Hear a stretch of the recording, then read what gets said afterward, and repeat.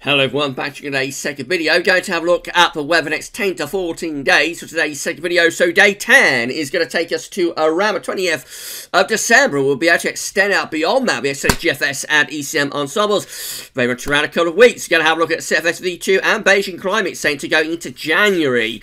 At the end of the video, it's going to be an extended look at. I'm running quite late today. Been doing lots, lots of nice Christmas things like wrapping presents and things like that this morning, so running a little bit late. Sorry about that, everybody. Uh, and yeah, I should get on for you very short. Just say that the European Outlook has been released, so uh, that's looking at the weather uh, for the uh, next uh, uh, week, 10 days, in detail uh, across Northern Europe. So have a look at that when you are done uh, with this one. That'll be absolutely fantastic. Thank you so much, everybody, for uh, doing that we had an epic live stream uh, last night where we got very close. We're just shy of like 400 concurrent viewers.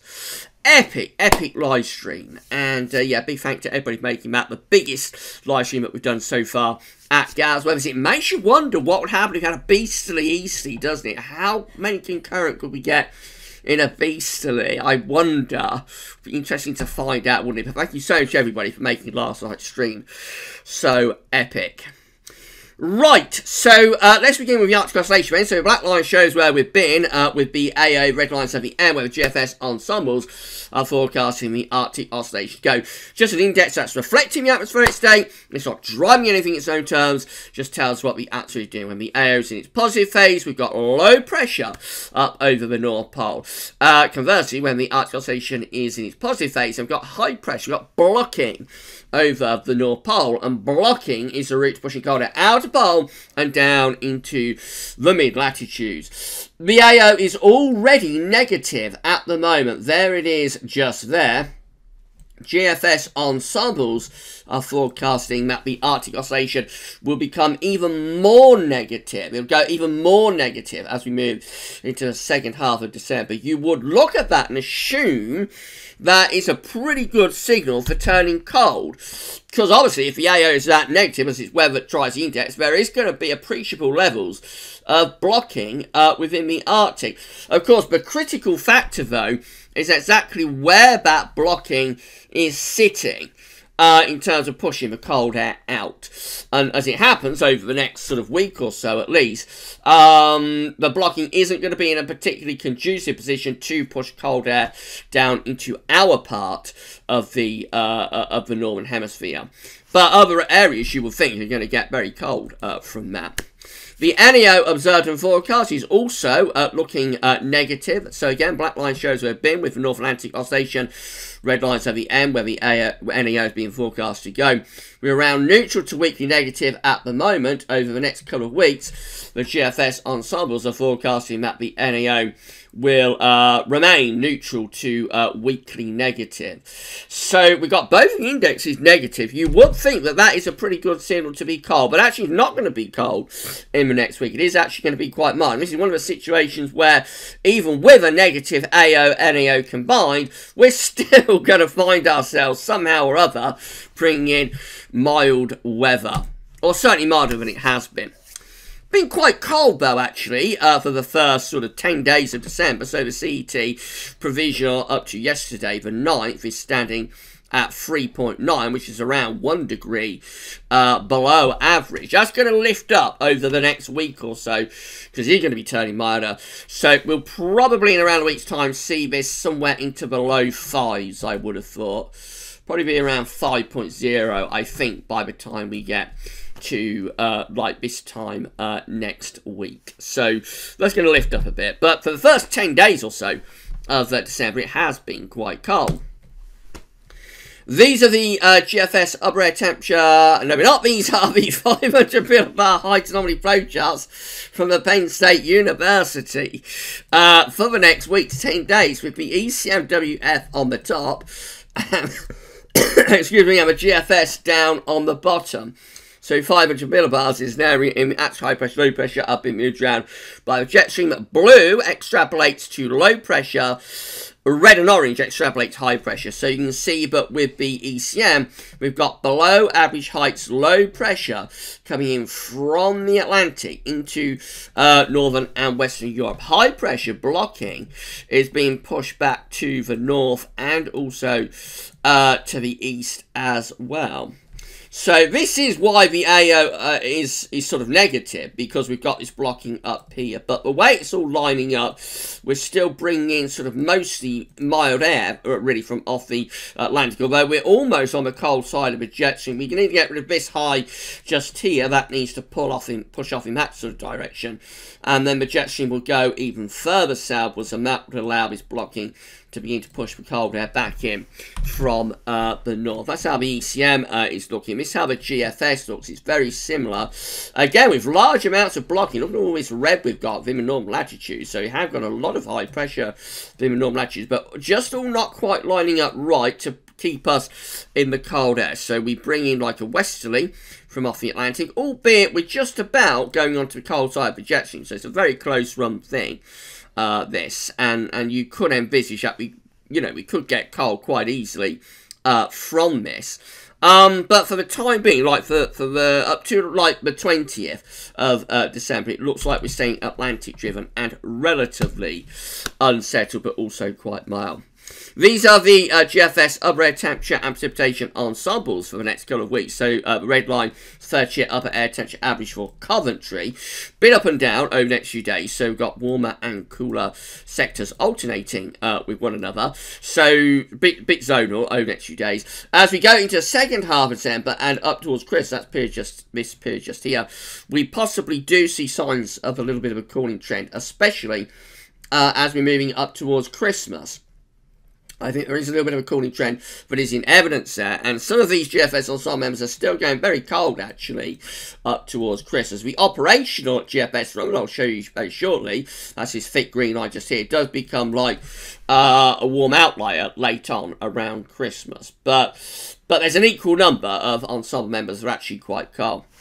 Plenty of precipitation to come as well from beginning to end, so it is going to be unsettled and I would say unsettled, like uh, running up towards Christmas, and after a mild, uh, mild spell early in the period, possibly starting to get a bit colder as we get close to Christmas, is I, is, I would think, like the form horse at the moment. Temperature anomalies from the temp to the 18th December going to be milder than average, not just for the UK, but for most parts of Europe as well. Precipitation anomalies from the temp to the 18th December going to be largely wetter than average. Here's the latest wind flow map from EarthNullSchool.net showing that we are about to start introducing westerly winds. So uh, we're in southerly, we're in a southerly flow at the moment. Wind is coming up from the south, but we've got all of these westerlies piling in from off the Atlantic just here. And in the next few days, these westerly winds are going to be heading in that direction. So, yes, you know, going to be much more unsettled. It's going to be an unsettled period coming up. That's how the uh, UK Met is looking for Sunday. Low pressure will be bearing down on the country on Sunday, probably bringing us a spell of wet and windy weather.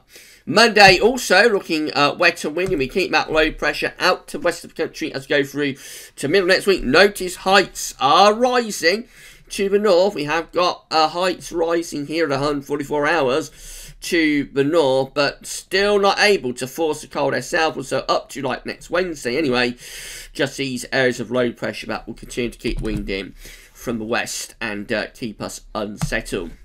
This how the GFS 6Z uh, is looking. So again, uh, Sunday, wet and windy conditions sweeping in from off the Atlantic. That lasting to the early part of next week. That looks like a very intense area of low pressure there on Wednesday. Could bring some stormy weather. Uh, and so the weather keeps going into the second half of next week as well. And these low pressures are going on more of a southerly track though. So as we're moving into the end of next week, this one looks like it could start to pull in some colder air uh, to northern parts of the country. And then we head on up towards day 10 and we keep things unsettled. But eventually below pressure clears over to the eastern side of the uh, country and that starts to allow colder air to begin to dig in uh, from the north. As the upper air temperature showing that somewhat colder air is now starting to dig in from the north. There's plenty of cold air available, like to the north of us, uh, around Greenland and into into the Norwegian Sea. So have got a deep cold pool there. So if we was to get the wind into the north for long enough and far enough north, um, then then there is like plenty of cold air to, to tap into there. Uh, what actually happens though is that after that brief incursion from the north, low pressure starts to come in from off the Atlantic. So this is like a battle situation. We've got cold air trying to plunge down from the north. These low pressures here are trying to bring mild air in from the southwest. Of course, there will be weather fronts that are going to mark the boundary between the cold and uh, the mild temperatures. So that's the signal for rain. And on the northern edge of that rain, where we're engaging the cold air, uh, then, then you know, there could be some snow from that. There's the upper air temperatures for Monday the 21st of December, showing that the north is cold, the southwest is relatively mild. In between, where we've got in this green area, that's probably where we've got the outbreaks uh, of rain. We keep this situation going through Tuesday 22nd into Wednesday the 23rd. Again, uh, it's quite interesting, this. We've got cold air desperately trying to get in from the north and from the northeast. Mild air desperately trying to push up from the southwest. There will be a weather front that's in that sort of position. Uh, so needs to be kept, kept a close eye on. There's the upper air temperature. This is the kind of thing that can produce a bit of a snow event. Uh, so again, the north is cold, the southwest is mild.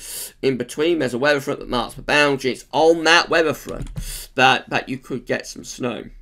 And it could go either way. You know, it's one of those situations where, uh, let's go back to this. It's one of those situations where if the energy begins to dig down in that sort of direction, then it will be the cold air that wins that battle. Uh, but if the energy starts to push northwards, then of course, with this ridge over Spain, we're going to start to bring up milder air uh, from the south. But I mean, that's 23rd December, it's Christmas Eve and it is poised between cold and mild. And this is the reason the models have been uh, fluctuating so much uh, just recently, that we are on the cusp of some, you know, really quite cold weather, um, but also got mild weather down to the southwest. So there is a proper old battle that's going on at the moment for ascendancy. Now, the way the GFS 6Z resolves this is just to push the mild air north. So we get to Christmas Eve and on into Christmas Day, and we're drawing up a very mild southerly with this uh, GFS run. But I wouldn't, you know, I wouldn't take that to, to the bank. Like, I wouldn't say that is guaranteed to be the outcome at all. Um, and we'll just have to wait and see. But but this particular GFS run is very mild, actually, on Christmas Day, with winds in from the south, and those mild southerlies continue into Boxing Day uh, as well. So it turns very mild across West Europe. That will lift temperatures into double digits. But again, I wouldn't be overly confident at all uh, about that being uh, the final outcome. GEM looks like this, and uh, again, so uh, we're going to be unsettled through the weekend and on into next week. Low pressure will be ploughing in from off the Atlantic. And then as we run up towards day 10, we keep things unsettled. Again, the heights are relatively high to our north and to our northeast. But up to day 10, these areas of low pressure in from off the Atlantic that will bring quite a lot of wet weather actually. And then this how ECM uh, is looking as well, so that also looks very unsettled over weekend and into next week too, with bouts of rain in from off the Atlantic. That looks quite stormy there around days 9 and 10 with this deep area uh, of low pressure. That is sort of pushing in that direction. So that one would also be starting to draw in something a bit colder from the north by day 10, which is the 20th of December. And then, of course, then, of course, as we run it towards Christmas, is what happens after that. So we, we introduce the cold air from the north. This low is almost certainly going to start to try and run in from off the Atlantic, but we may also try and raise the heights to the north. So it all looks very, very interesting, I have to say, as we run up to Christmas. And is on a knife edge. And I, as I said in my live stream last night, I think Christmas is going to keep us guessing uh, for a while longer. Uh, so just keep checking the videos of live streams. Right, this is how the rainfall forecast looks from Tameteo.com for the next 10 days. So you're going to see lots of rain, bands of rain coming and going, plenty of rain piling in from off the Atlantic. Because he's low pressure on a bit of a sunny track at times, it will be cold enough, some of that rain to turn wintry in the north. Um, vigorous area of low pressure there in around a week's time. That's bring uh, heavy rain and quite stormy conditions. And as that clears out of the way, then we start to uh, introduce something a bit colder. So, so more of a rain begins to turn to snow across Scotland and parts of northern England as well. Um, and heading up towards day 10, there's a suggestion of a little bit of snow coming down into England and Wales as well uh, at this point as we begin to pull in some colder air from the north. That's how it looks. As we get to day 10, we have introduced some colder air from the north, and then we wait and see. That's the 20th of December. We wait and see where things go uh, for Christmas.